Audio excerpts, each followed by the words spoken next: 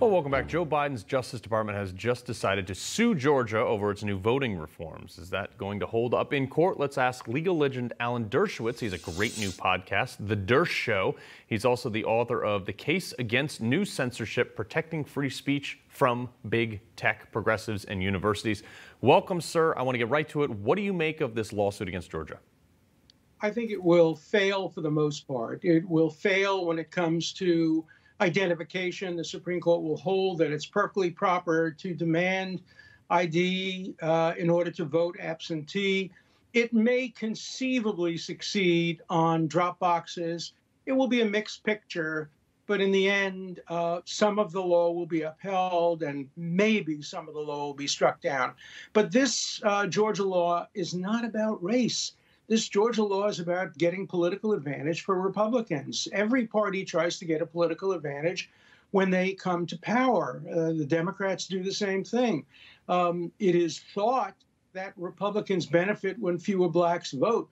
The purpose, however, is not to get fewer blacks to vote, it's to get fewer Republicans to vote. So I don't think the Supreme Court, in the end, will look sympathetically at this challenge by the Justice Department. They'll see it as political and not racial.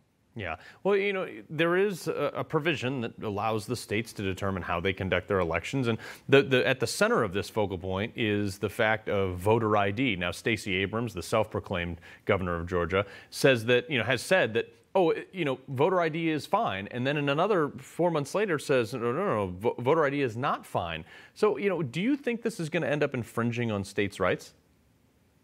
I think voter ID is fine as long as it's easy to get voter ID and as long as voter ID laws are not used in a racially discriminatory way. And there's no allegation in this lawsuit, no proof in this lawsuit that voter ID is used uh, racially. It's if it's easy to get ID, you have to get ID to get into a building today, to get into an airplane. Why? What's wrong with requiring ID to vote? I don't see any problem with that. I think other parts of the law may pose different kinds of problems. But this is more about politics than it is about race. Mm-hmm. Well, I want to switch topics real quick. You know, a panel of Manhattan judges that was they've ju- just suspended Rudy Giuliani his his law license because they say he made demonstrably false statements about the 2020 election in court. Will this suspension hold up in your opinion? I do not think so. It was done without due process. He didn't have a hearing. He didn't have an opportunity to prove either that what he said was true or that if it wasn't true that he didn't know it. That's number one. Uh, number two, the criteria under which he was uh, essentially disbarred because they basically said this will be permanent later on. The, the criteria is so vague.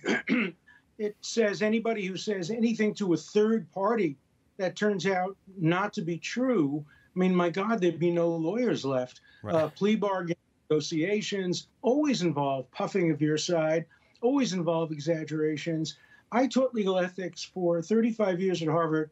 I've never seen a case like this. Yeah, it's just like taking on your political opponents and saying, we're going to pull your law license. I mean, it, literally is the, the, the worst kind of, of messing with the system.